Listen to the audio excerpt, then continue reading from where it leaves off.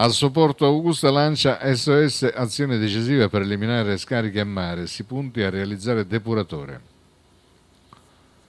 Come al supporto siamo stati felici di sposare e partecipare all'operazione Nettuno di Nuova Acropoli Augusta perché è un'iniziativa importante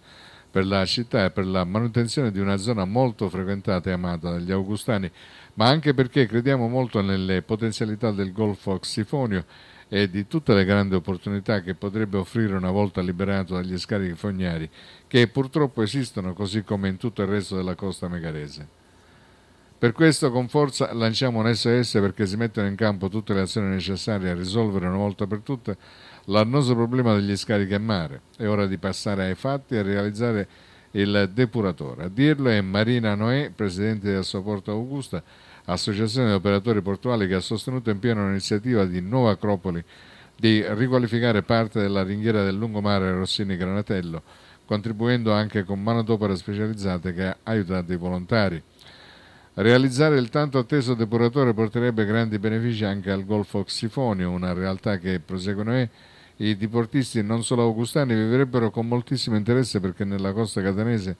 non ci sono aree dove poter ormeggiare senza problemi perché lì prevale la spiaggia e mancano le insenature.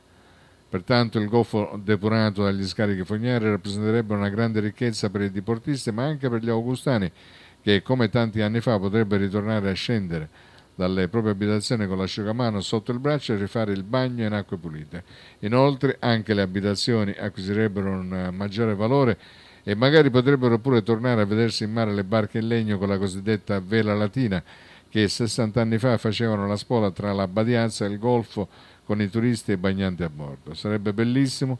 conclude la Presidente dell'Associazione, oltre che importante da un punto di vista turistico, ripristinare questo servizio